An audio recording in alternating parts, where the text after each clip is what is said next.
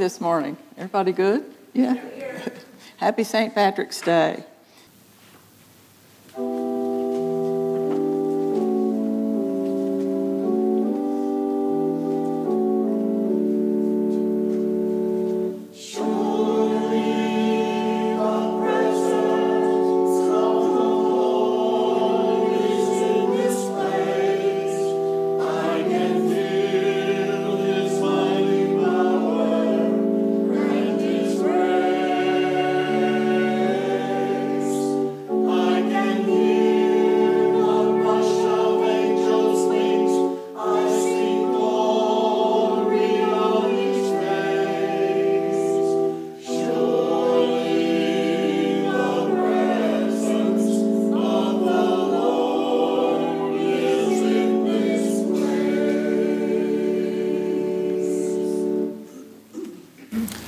Good morning. Our opening hymn is 553, and Are We Yet Alive? Very familiar melody with some different words. 553, please stand.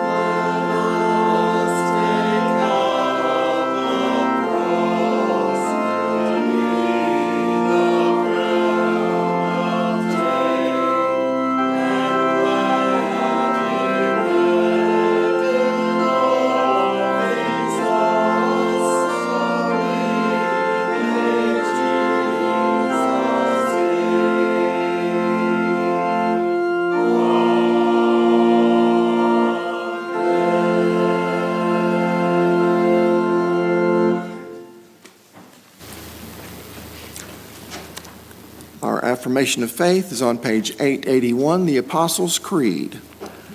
I believe in God the Father Almighty, maker of heaven and earth, and in Jesus Christ, his only Son, our Lord, who was conceived by the Holy Spirit, born of the Virgin Mary, suffered under Pontius Pilate, was crucified, dead, and buried.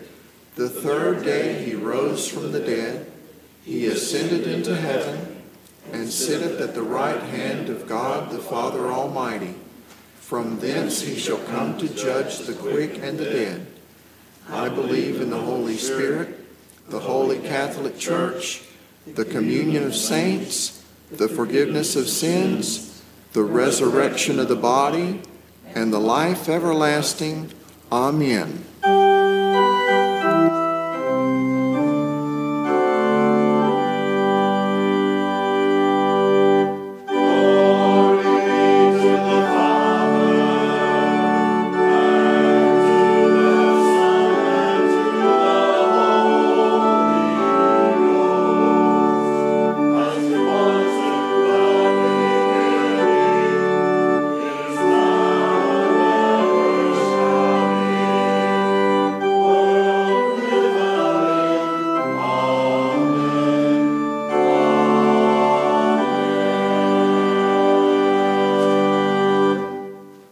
May be seated. Now comes a time in our worship service where we share our joys and our concerns.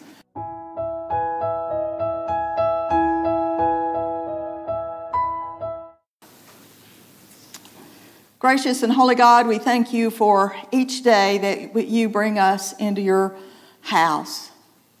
And Lord, we know too well that you know that we would like the ways of discipleship to be easy to have past laid out with a neat timeline with the future clearly visible at all times.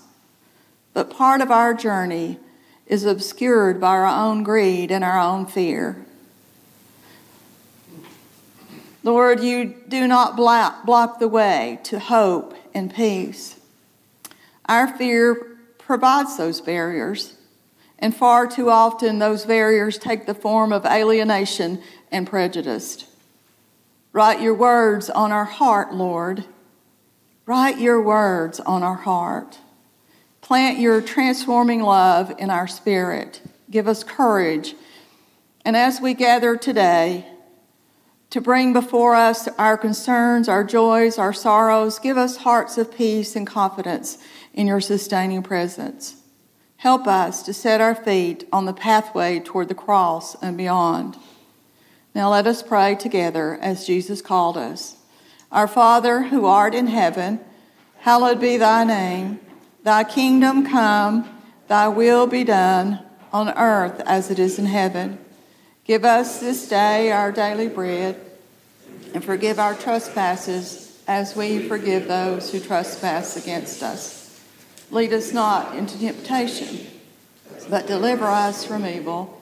For thine is the kingdom and the power and the glory forever. Amen.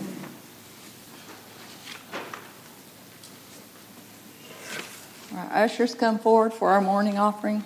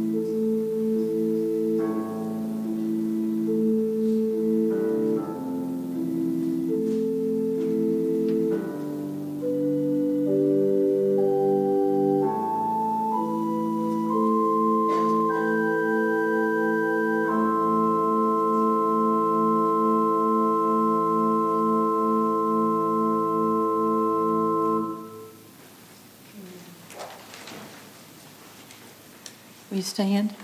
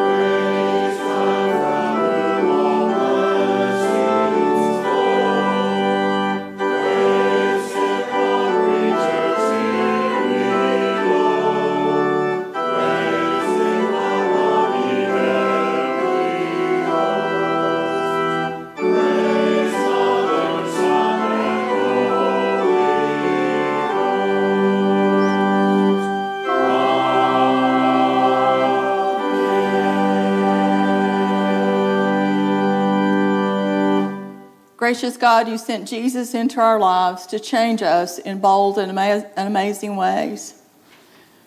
Lord, we place this offering before you.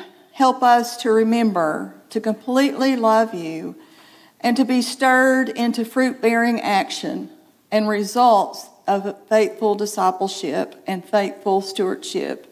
In Christ's name, amen. You may be seated.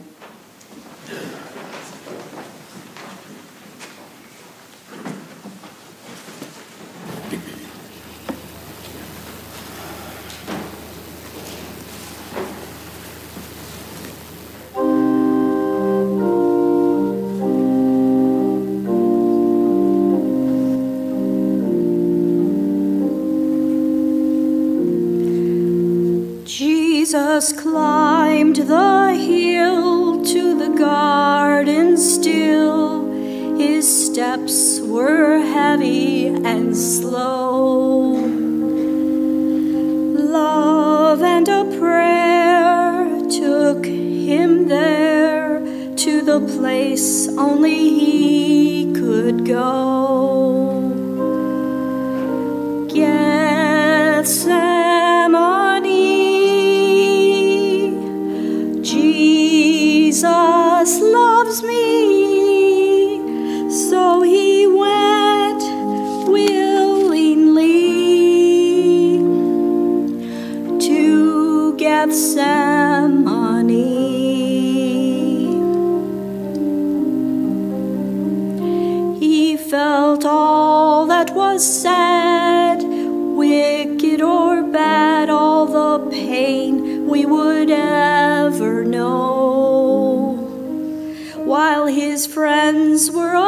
Were asleep, he fought to keep. His promise made long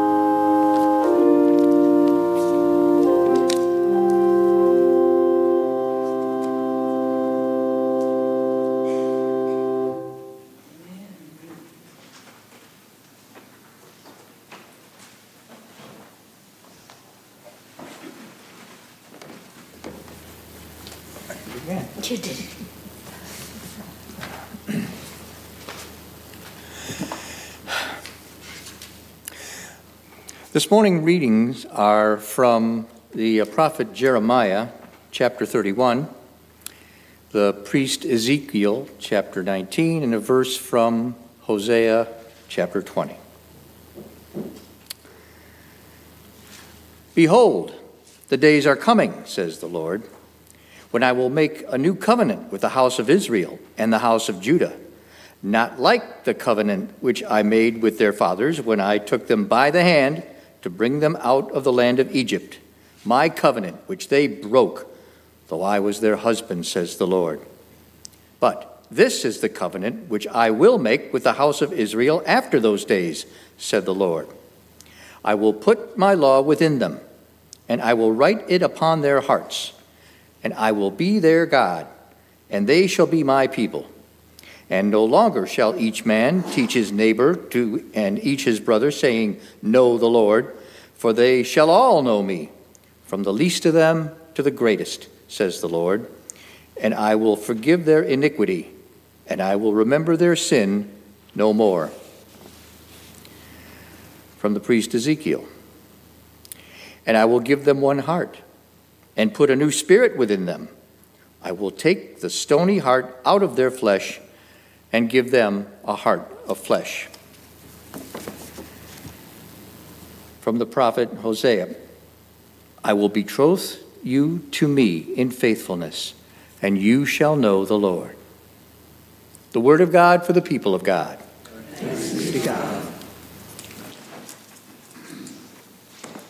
I have asked um, Ed to play a song, so you listen closely. Uh, Come, thou fount of every blessing. Um, and I won't torture you through the whole song because it's four minutes long, but listen closely to the words.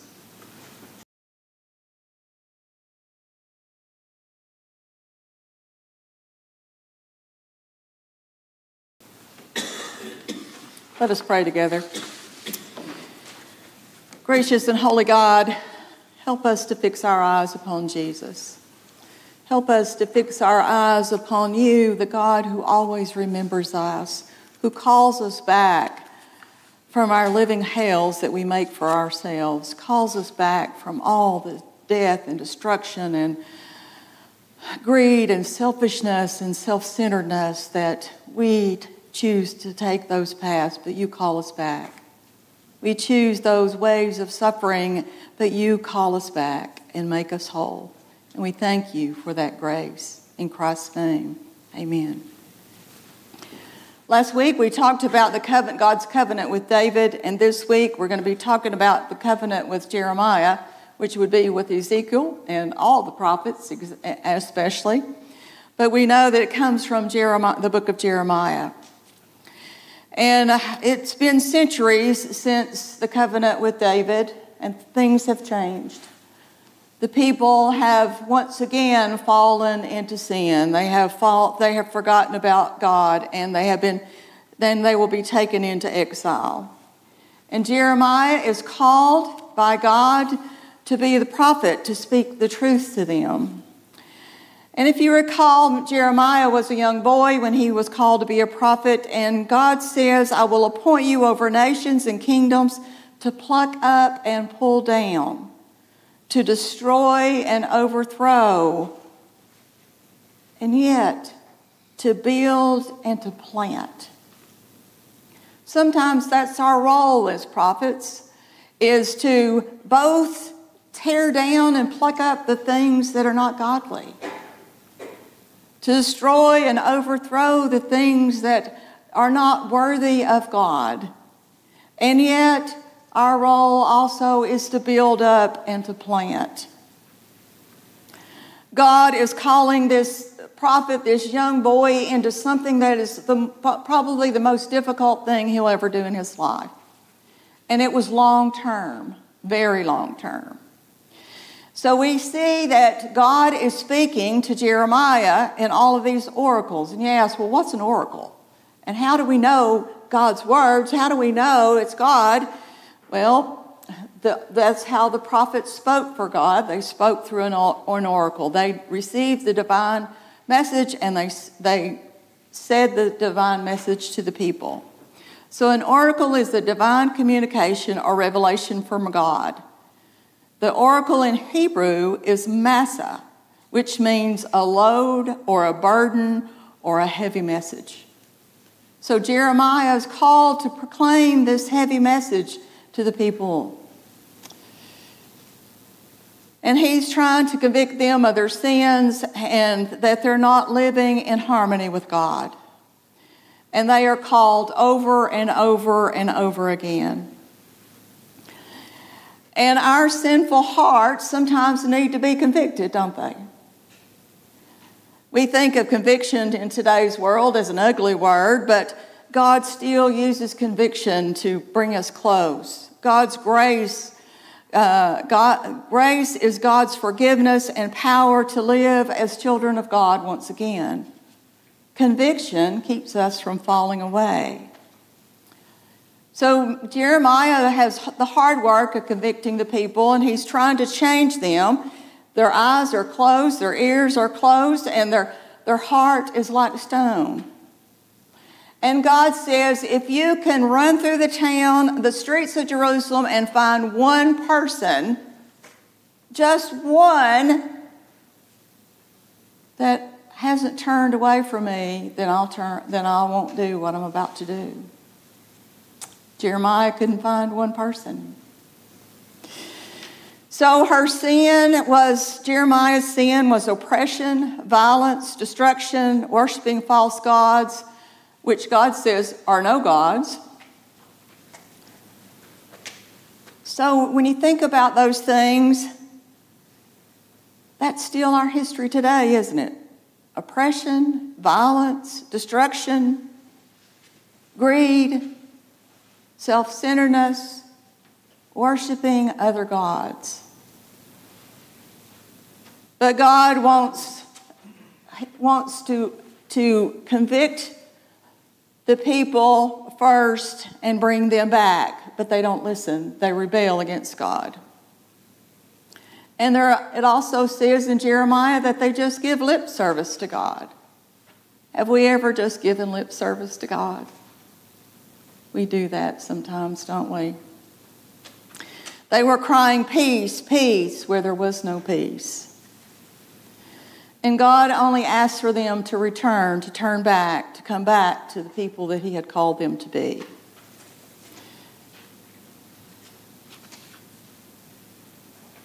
Because God, God, because the people refuses, that God refuses to protect them. God refuses to protect the people from the outside forces that were around them. So when that happens, the Babylonians come and they they take the people away to Babylon, they destroy Jerusalem, they burn the city, and take the people away. And God is grieved by what has happened. When I read Jeremiah, it says, God grieves for God's people. My joy is gone. Grief is upon me, and my heart is sick. Oh, that my heart were a spring of water and my eyes a fountain of tears so that I may re- re- weep day and night for the slain poor people. God doesn't just discipline us. God weeps for us. God cares deeply for us. God feels the pain that we bring to God. One of the things I love most about the movie uh, of Jesus being crucified, um, is when he's crucified, there's a teardrop that comes down. That is my most favorite part of that movie, is that God weeps when Jesus is crucified. Jeremiah has prophesied for 23 years to try to bring the people back before, they're, before they go into exile. 23 years the prophet has spoken the truth to them. And then the exile happens.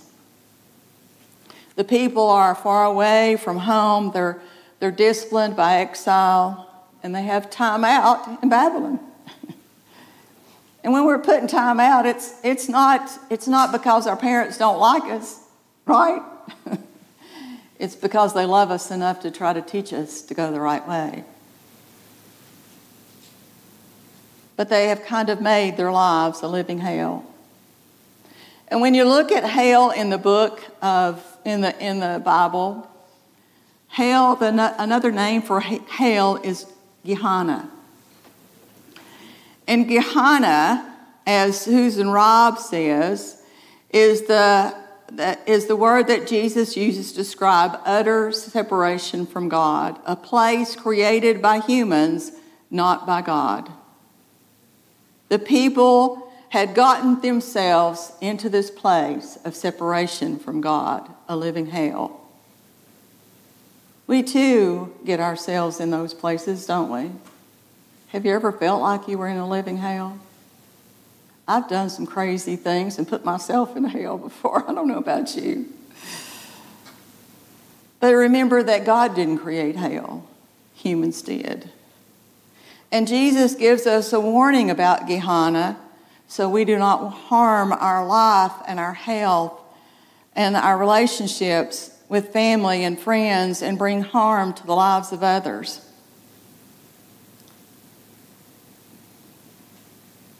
The people were taken into exile. They were there for 70 years.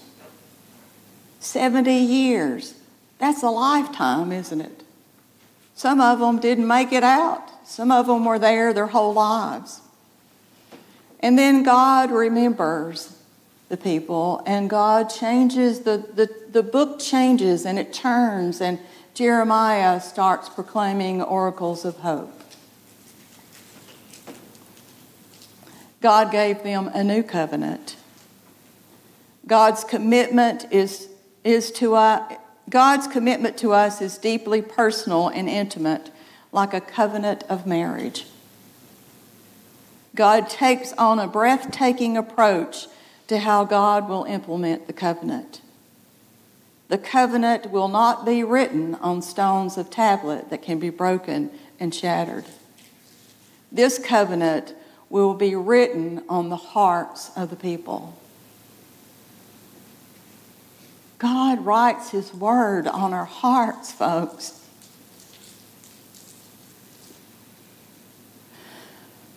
What a blessing.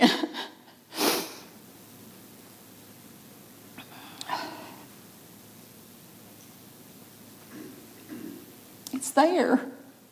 It's there. It's always there with us. All we have to do is claim it.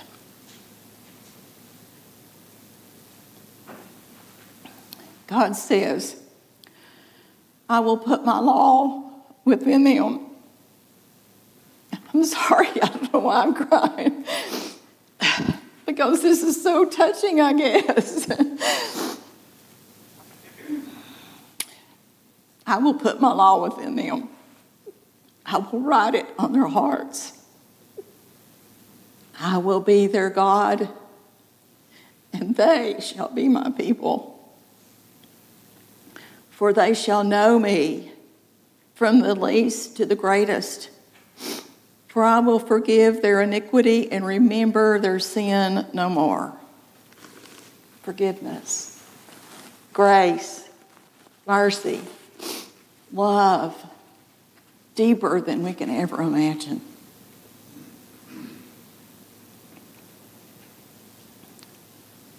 God is in the habit of making new covenants with us when we fall on our faces. But our human condition, yours and mine, is to wander away from God, to, to forget and to rebel against God, to put ourselves in a living hell. And I guess that's why I chose the hymn, Come Thou Fount of Every Blessing. I want you to listen to it sometime today. Listen to that hymn. You can find it on YouTube. You probably have it in your hymnal look at the words and listen to it. And in this Lenten season, we are called to remember who we are and what God has done for us. And that God literally writes His word on our hearts. Warren changed his hymn this week, and, he, and the hymn that he chose was Are We Yet Alive? To remind us, are we yet alive? In this season of Lent, are we yet alive? Are we God's people? And we are called to remember the debt that Jesus gave. He gave his life. He gave his life for us. Oh, to grace, how great a debtor daily I'm constrained to be. Let thy goodness, like a fetter, bind my wandering heart to thee. Prone to wander, Lord, I feel it. Prone to leave the God I love. Here's my heart. Oh, take and seal it. Seal it for thy courts above. Enough said.